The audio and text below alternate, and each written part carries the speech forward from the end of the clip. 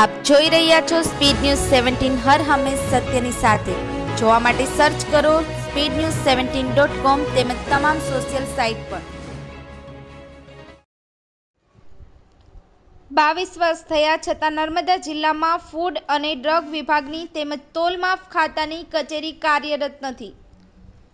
અખિલ ભારતીય ગ્રાહક પંચાયત નર્મદા દ્વારા રાજપીપળા ખાતે કલેક્ટરને આવેદનપત્ર આપ્યું.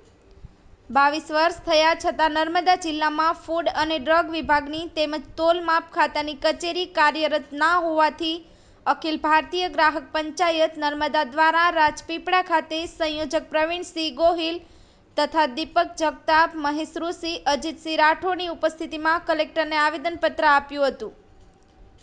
આમ નર્મદા જિલ્લામાં બંને કચેરીઓ કાર્યરત થાય અને તેના અધિકારીઓ, કર્મચારીઓની નિમણૂક થાય જે અંગે ઘટતી કાર્યવાહી કરવા રજૂઆત કરી હતી. Jyoti Jagtap, speed news seventeen, Rajpipla.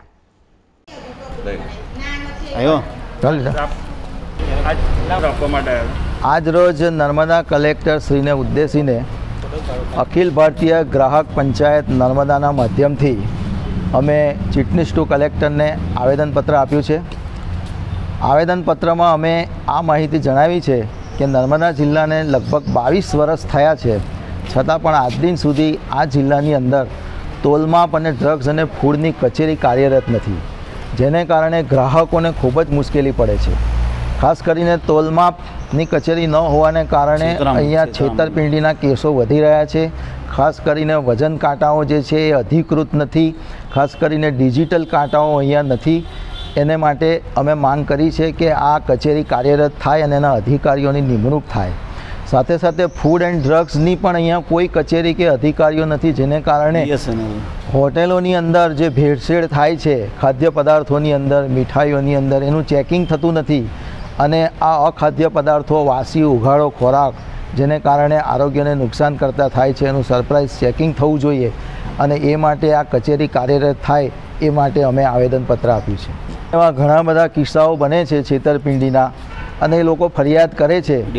પણ એ ફરિયાદ ભરૂચ સુધી પહોંચતી નથી ને અહીંયા કચેરી ભરૂચ આવેલી હોવાથી અને ત્યાંના અધિકારીઓ ઉપર છેલ્લું ચેકિંગ કરે છે જેની કારણે એનું કોઈ રિઝલ્ટ મળતું નથી.